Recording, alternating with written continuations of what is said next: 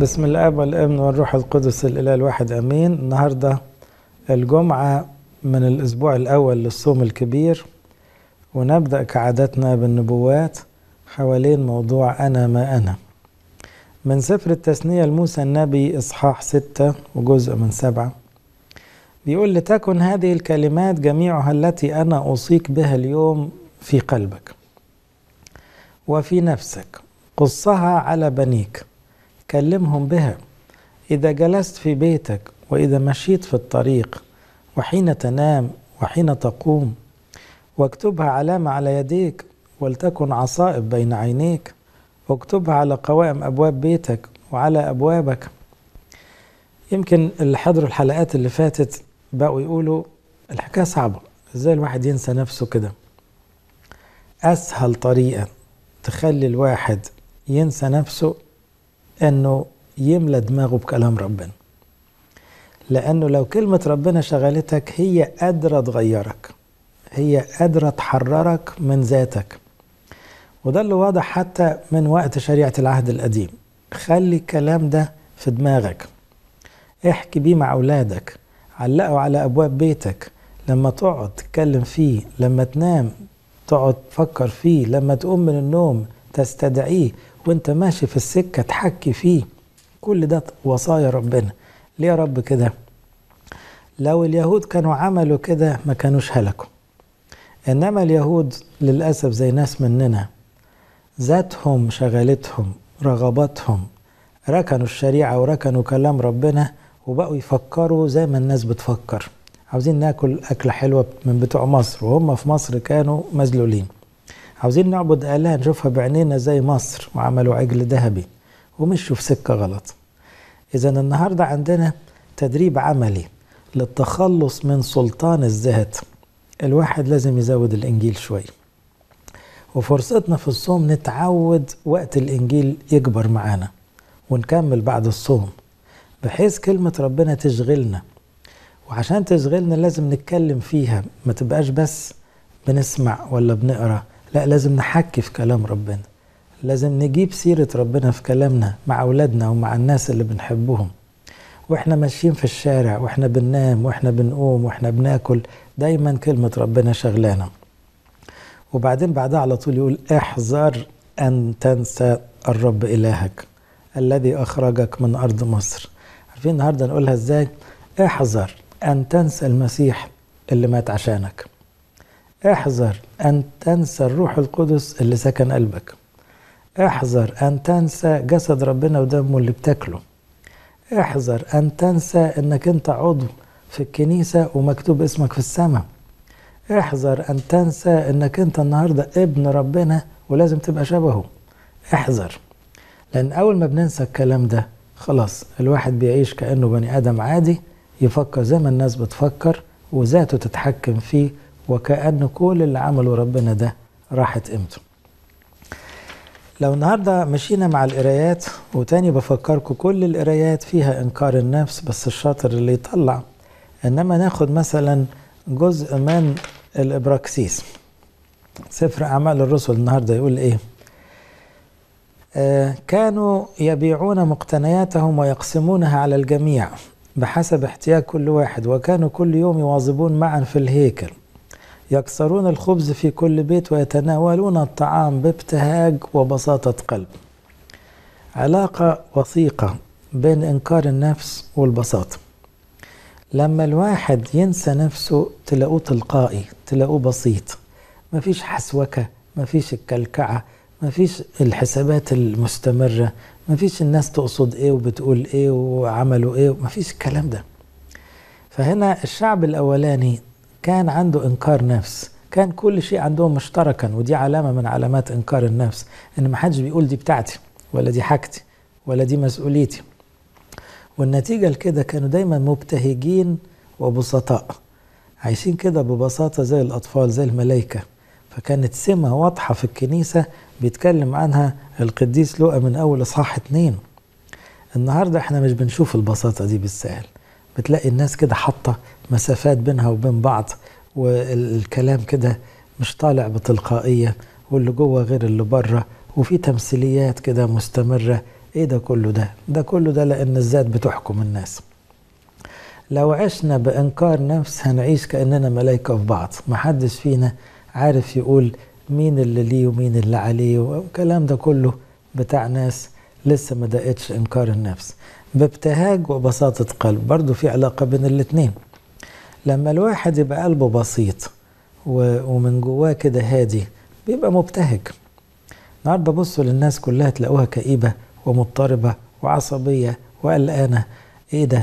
ده لأن دماغهم تعباه الذات كبيرة. إنما لو كل واحد رامي الحمل على ربنا وناسي نفسه تماما ومشغول بس إنه يرضي ربنا تلاقوا الدنيا سهلة قوي في شعار كده كان قاله القديس يوحنا ذهبي الفم زمان ونزل في كتاب مشهور ليه من زمان قوي طبعا من روح الإنجيل لما قال إيه؟ لا يقدر أحد أن يؤذيك إن لم تؤذي أنت نفسك لا السياسة ولا الناس اللي حوالينا ولا المفاجآت ولا الضغوط المادية ولا مشاكل الدنيا ولا حاجة من دول تأذيك. اما كنتش أنت تأذي نفسك تأذي نفسك لما تبقى أنت مسؤول عن نفسك. تبقى دماغك هي اللي بتسوقك وذاتك هي اللي بتحركك. إنما لو أنت مسلم لربنا وناسي نفسك خالص ولا حاجة من دول تقدر تقرب ناحيتك. لو انتصرنا أحبائي من جوانا على نفسنا ننتصر على أي شيء من برانا. مفيش حاجة تقلب كياننا أبدا إلا ذواتنا. أي اضطراب وقلق وكآبة وحزن وضيق وعصب كل ده نابع إنه جوه في مشكلة مش بره. بدليل إن في ناس عايشة في ظروف أصعب مننا. مبتهجة وبسيطة يبقى هنا المشكلة مش بره المشكلة دايما جوه. لو دخلنا بقى في مزمور وإنجيل النهاردة يقول أنا على رحمتك توكلت وهتلاحظوا لو تأملتوا في قراءات الصوم عموما مزامير كتيرة قوي فيها معنى الاتكال على الله. لأن الاتكال على الله مرتبط جدا بإنكار النفس. ما هو الواحد بينسى أو ينكر نفسه ويحط كل الهم في ربنا. ربنا هو اللي شاغلني فناسي نفسي. ربنا بحاله ومحتاله يعني هو وولاده وملكوته هو ده اللي شاغلني. أنا على رحمتك توكلت يعني أنا مش متكل على نفسي. أنا مش متكل إن أنا أعرف أنا ما بعرفش. أنا مش متكل إن أنا هقدر ولا إن أنا جربت ولا إن أنا أنا ما مش هتكل على ده كله. أنا هتكل يا رب عليك أنت رحيم.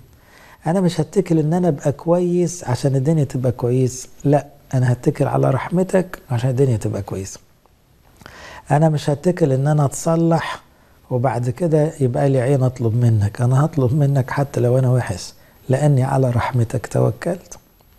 فالاتكال على رحمة ربنا علامة حقيقية من إنكار النفس.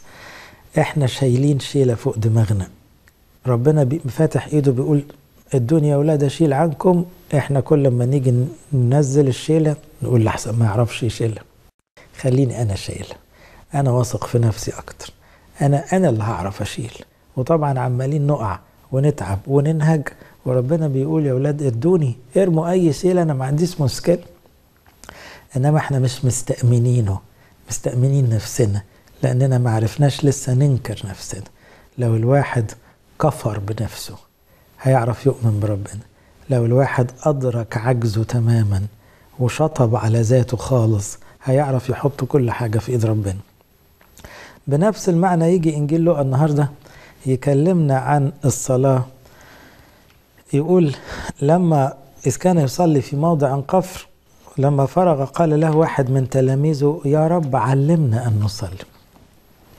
طبعا كلكم عارفين أن المسيح ساعتها علمنا أبانا الذي وبعدين علمنا اللجاجة لأنه بعد النص ده قال فلو جه واحد لواحد صاحبه في نص الليل يخبط عليه يقول له اقرضني ثلاث ترغفة لأن جالي صديقي في نص الليل. هيقول له أنا معايا العيال في الفرشة ومش عارف أقوم أساعدك. هيفضل يزن يزن قال لو ما كانش هيقوم عشان صاحبه هيقوم عشان بيزن عليه. فكأن ربنا بيقول زنه زنه. هنا معناها التحرر من الذات مش هيجي من مرة. تصلي وتقول يا رب شيل مني ذاتي دي. لا دي عاوزة زن. دي عاوزة ناخد طول الصوم نقول له يا رب حررني من دماغي من ذاتي. علمني أنكر نفسي زيك. علمني أبقى زي حبة حنطة تتحط في الأرض وتداس عشان تأتي بثمر في المستقبل. إنما إحنا مش غاويين اللجاجة اللجاجة أصلها ضد برضو إيه؟ الذات والكبرياء. أنا ذاتي تصعب عليا ما أنا صليت وما سمعليش ما تصلي تاني. حصل إيه؟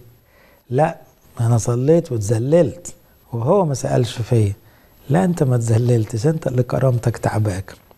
ما تصلي تاني وتالت ورابع ومية. حصل إيه؟ ما هو ربنا عارف هيتدخل إمتى وهيستجيب إمتى. يقول إيه في النص هنا؟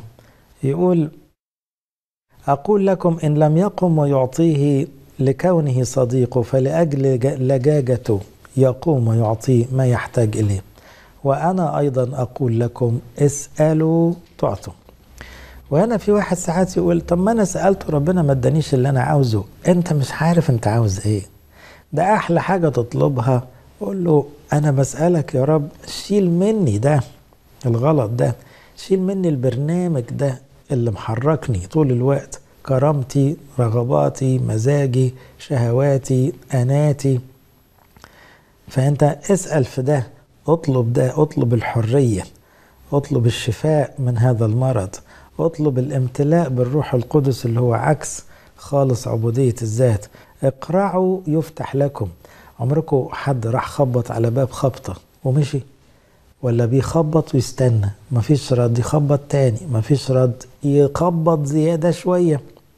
ويفضل يخبط لأن مفيش باب تاني. ما عندناش باب تاني نخبط عليه غير ربنا.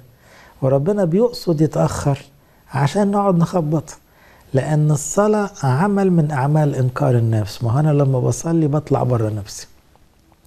بنسى نفسي بنشغل بربنا. المفروض الصلاة الحقيقية كده.